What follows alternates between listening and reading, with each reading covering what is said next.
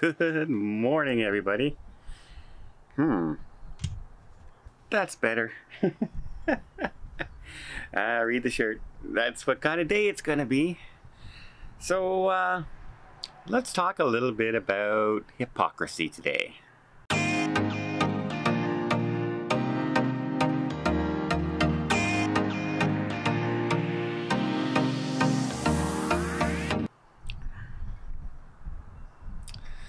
So we've all heard these stories about the government ordering you to do one thing during this pandemic while doing the other. And we've had a, a, ton of examples like that. Don't travel, do not travel, do not go anywhere, and then they go on their own personal vacations and, and try and hide the fact. We've had people fired here from their government positions in Canada for doing just that many, many times. But I want to show you a perfect example of government putting on a show not really meaning what they do, not really following their rules, just putting on a show for the cameras to make it look like they're doing exactly what they're telling us to do every second of every day. The clip I'm about to show you is our Deputy Prime Minister of Canada. Okay, very important position in Canada, wouldn't you agree? Um, but uh, let's watch. Let's just take a quick look at uh, as she's ready for the cameras. Um, and whenever they turn on a camera at a government event, when they're talking, you know, or they're making an announcement, or they're talking about COVID or something like that, you always see them. They have their mask on like this, oh, and then they, as they get ready to go, they they take their mask off, even if they're like one person's way over there on that side of the table, one person's way down there on this side of the table. They they both have their masks on. One person will talk, and the, and when the other person talks, the other person puts on their mask again like this, as, as if the 50 feet that they have between them um, makes a difference. You, you know that that oh my look at me, I'm following the rules, everybody. Well, just watch this clip. Okay, uh, places, everybody. Places. Uh, Deputy Minister, you don't have your mask on. Put your mask on, please. Thank you. All right. Let's put on a good show for the Canadians, everybody. Got to put on a good show. All right. We're about to go live. Gonna get ready to go live. Everybody ready? Got your masks on. Everybody ready for the fake show? All right. And here we go. Action in three, two, one. And Deputy Minister, you're on. I don't have my mask on. I'm not wearing a mask. I'm doing all my work and everything. And oh, we're about to go on camera. Put the mask on to show everybody at home on the camera for the good show. I have my mask on all the time, everybody. I wear my mask everywhere I go. I have no, you don't. No, you don't. And it's okay. You're not around anybody at that table. You're sitting by yourself at the table. But no, it's got to be a show. You got to put a show on for people. You have to make it look like you're wearing a mask 24 7. I wouldn't be surprised if these people, you know, are are trying to let us think that they're wearing masks in the shower. Ah, uh, it is absolutely ridiculous. And then, wow, here in Canada, we have a province that is right now our worst province for the outbreak in Canada. It's Alberta, one of our western provinces and they re-shut down all the restaurants and the restaurants are allowed to open for outdoor dining you have to maximum of four people at a table. Uh, they have to be from the same family. You have to uh, the tables have to be spread apart from each other outdoors. You're not allowed having anybody within six meters or something like silly like that.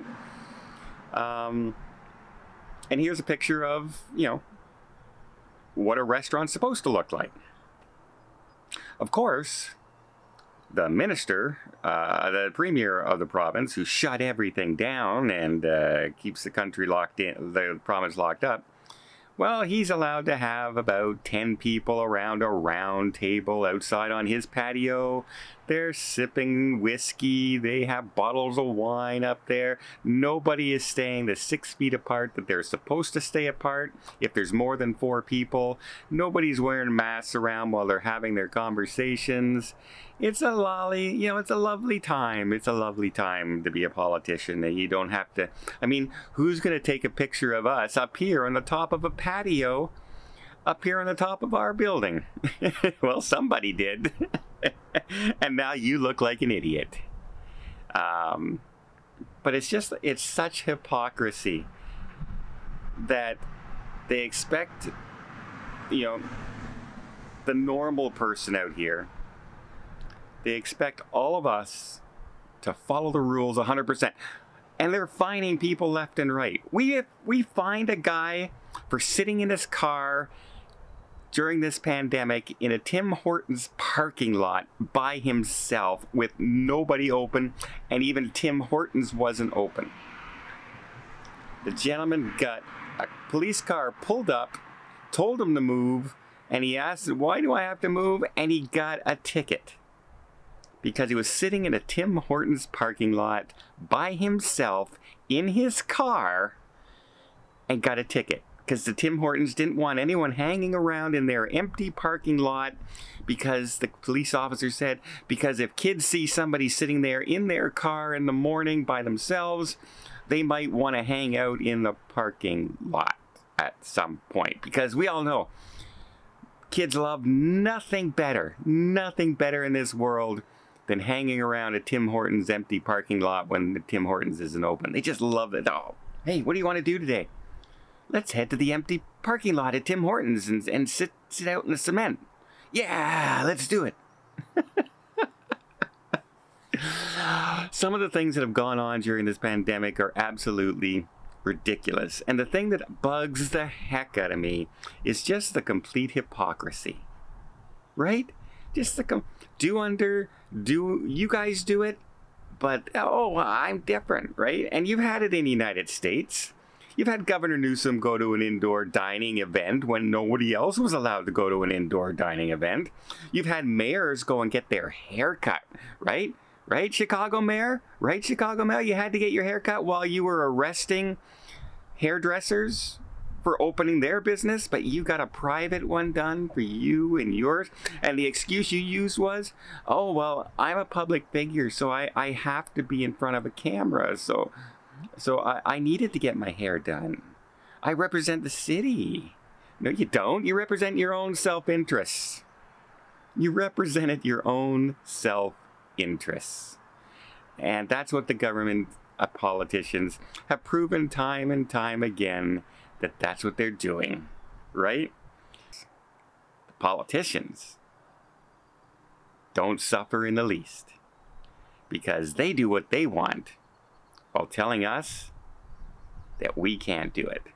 But don't forget, don't forget, if you're going to be on camera, you know, make sure to get that mask on before the camera starts rolling. Otherwise, people might not think you're listening to your own rules like you're not.